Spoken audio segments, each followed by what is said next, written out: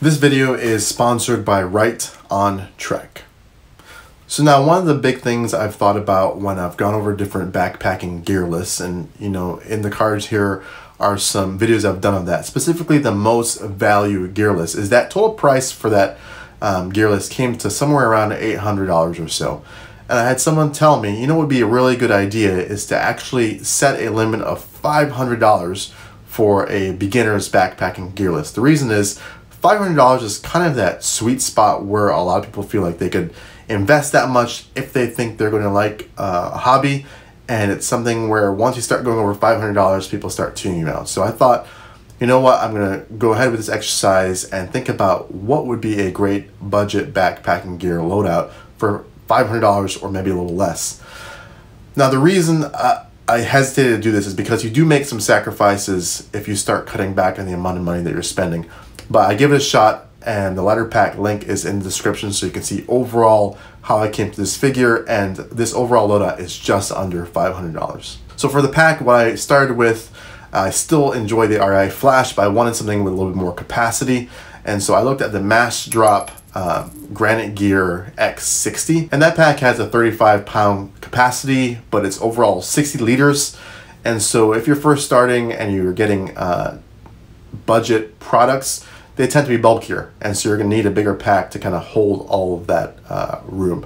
The overall base weight for this entire loadout is about 15 pounds, a little over. You'll see in the LighterPack link, which I think is fairly reasonable. Now the Massdrop X60, I've seen uh, in action before on the trail. I've never used it myself. Um, but it's one of those things where it looks like a high quality piece of gear. Now I'm a big fan of the Costco quilts uh, for what they are. Now for this loadout, I recommended two Costco quilts because if you stack them, you get uh, a better warmth rating. Those are only $20. You may have to wait till they appear in Costco again, or if you wish, you can purchase them at Amazon, but of course they're more expensive because capitalism, and they're not readily available anymore. Um, but if you wait uh, till I think uh, later this summer or early fall, you'll see them appear in Costco for $20 uh, typically per uh, Costco quilt. They especially go heavily on sale, or they have in the past few years, around Black Friday, so around November time is when you really will see them. But if you purchase two, that's $40, and you can stack them and get fairly uh, low. The only drawback for the Costco quilts is that they're a little shorter for guys like me, and they're sewn through baffles, and so that's why stacking them, you might want to um, shift them off center of the stitches so you make sure you get a comfortable rating. I recommended a foam pad because if you go to the ground, you can use it. If you are in the hammock, you can use a pad in the hammock. Um, it's the Thermarest uh, Z-Sol foam pad.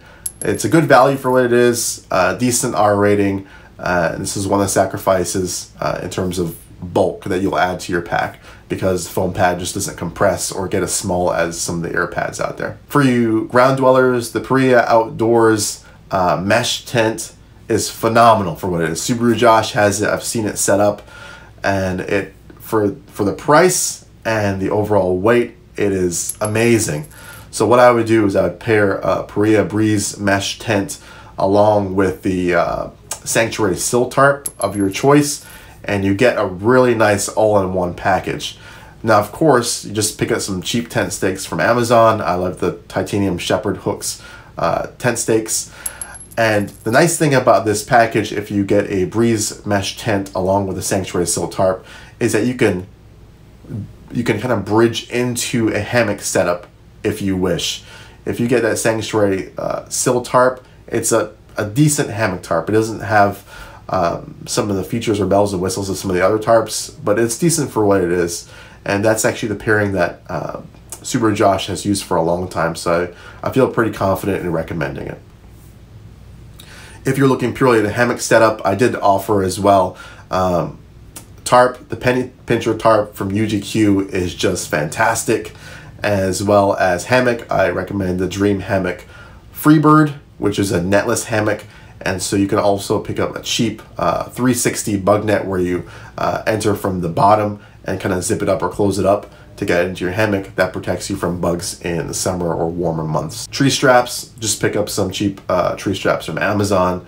Uh, people like Ripstop by the Roll, for example, will sell those as well, and they can kind of be your your uh, place for getting those hammock related items. For your extra clothing, so things like a fleece, most people will have a fleece at home. Go ahead and bring that. That's free. Gloves, hat, you can get a baseball cap. Most people will have gloves for the wintertime anywhere. All free. The only thing that's extra will be your rain gear, and I'll still recommend the Frog if you're looking to save money. The Frog Toggs ultralight rain suit, which is uh, pant and a jacket. Just be careful because it is more of a budget piece of gear. It tends to be uh, less forgiving when it comes to going off trail or rubbing against branches. If you're just using it for rain and hiking, uh, you should be fine. Uh, but anything super rough, I wouldn't uh, trust the ultralight rain suit. Similarly, with the regular clothing that you're wearing for uh, hiking or for sleeping in. Uh, typical shorts and t-shirts in the summer, depending of course on where you are, or longer sweatpants will work. Um, socks, my personal favorite, I've mentioned so many times now, is the Wright socks. Will helps avoid blisters. Um, but you can actually go even cheaper than that. You have all these items already in your house. Uh, the only things I would want to remember is that you make sure uh, no cotton and stay to things like polyester or any synthetic clothing. Uh, weigh your clothing, figure out which one is lightest and which one you want to bring. Uh, but you will need sleep clothing and at least two pairs of socks uh, for hiking. Stay synthetic, it ends up being cheaper overall. This video is sponsored by Right on Trek and they're a small company that they've just started out and what they're doing is they're they've created a hike planning platform for you so that you can plan out your longer multi-day hikes. One of the great things that they have in terms of features is that you can actually share your hikes with uh, other members of the hiking community, your family, your friends, as well as view other hikers' plans. Now the great thing is that it's free and it allows you to plan uh, for multi-day backpacking trips on some major US trails that everyone's aware of, like the PCT, uh, the AT, and the JMT, the John Muir Trail as well as a lot of different other trails on there. Now you can do different things like plan out your daily trip itinerary, uh, look at your daily mileage if you'd like, overall elevation profile, which is fantastic. You can even plan out your campsites, points of interest on the trail, and even create a resupply plan if you need to. So check out the link in the description and in the pinned comment down below. I actually made a mistake on one of my trips in forgetting my Human Gear Duo. So my recommendation to use is a disposable plastic spoon.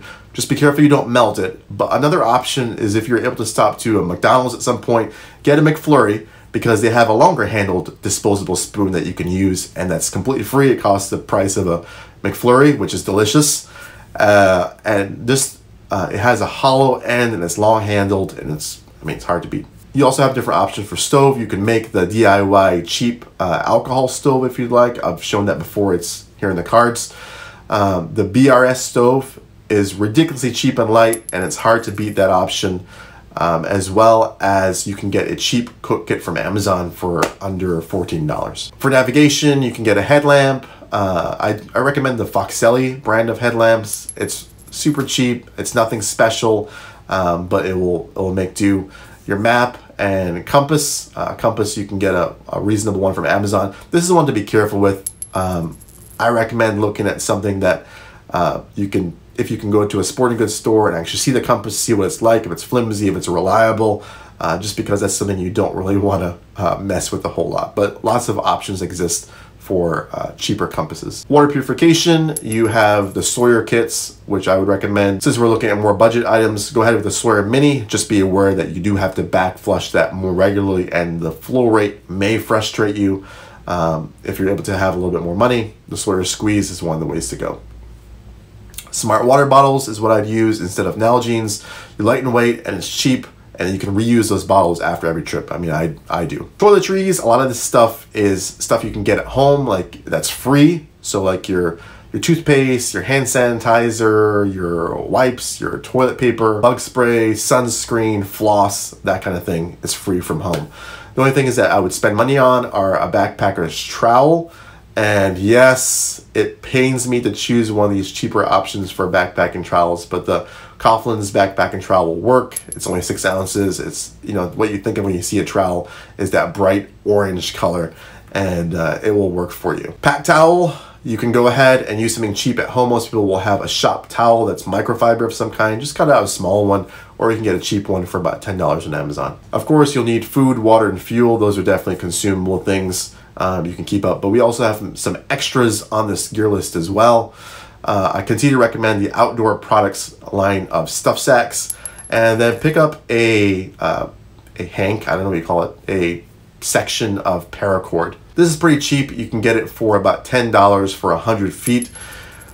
Uh, you can use this for things like uh, guy lines, for bear line if you really need to in a pinch. Um, the only thing to note about paracord, and this is one of the compromises I had to make, is that you'll get a lot of stretch um, with paracord. Um, so, it, I mean, it, it will work, um, but just be aware that it may not work as well as a Dyneema based uh, form of cordage. Plastic bags, so things like a trash bag liner, uh, just a trash bag in general to hold your, your general trash on the outside of your pack typically, uh, are free and you should be able to get those from home. Trekking poles or trekking poles, uh, there are some differences between them, but if you want something to support your, you know, help with your knees and your overall pack weight, how you feel overall, as well as get some upper body uh, strength going on there. The cheapest uh, trekking poles I can find on Amazon are about $8 just remember, you get a little bit of what you paid for. There comes a point, for me, the sweet spot's about 30 to $40, but since this is a budget list, $8 is the cheapest I can find. Um, that could work. If you want to get even cheaper, you can make your own staff, make your own trekking poles uh, that fit your height from uh, wood around. Just make sure you get something that's strong. Now your head net and medical kit. Uh, head net you probably will have to purchase. There's some cheap ones out there, about $7 or so. Uh, medical kit, repair kit, Typically, a lot of that stuff will come with the things you've purchased uh, if it has a repair kit in it. If not, you can make it up from home. Mostly duct tape, bandages, uh, medications, and I've gone over that first aid uh, kit before, at least what I uh, carry. For the knife, it's almost impossible to beat the Mora Companion knives. They're tough, they're rugged, they're light, and they're reliable. And uh, I think you should, if you haven't ever purchased the Mora Companion knife, go ahead and pick one up you'd be surprised at just how tough and sharp they are. And for something that's not a full tang knife, it, it works. So that's the overall gear list. Hopefully you enjoyed. Uh, hopefully it's a good resource for those people out there who are looking for different price points. And that's one reason why I'm starting to put out a lot of these lists is so that people can refer back to them, hopefully, or you can share with your friends if it's something you'd consider saying, hey, you're starting backpacking, you can look at these different price points, be it the value uh, gear list or this $500 gear list, or I've even done, I think, a $350 gear list before. Go ahead and check those out. The links to everything are in the description. Let me know what you guys think. Is this something that you would carry? I always try to think about, is this something I would take out into the backcountry and trust my life with? And the answer is, it depends on where I'm going.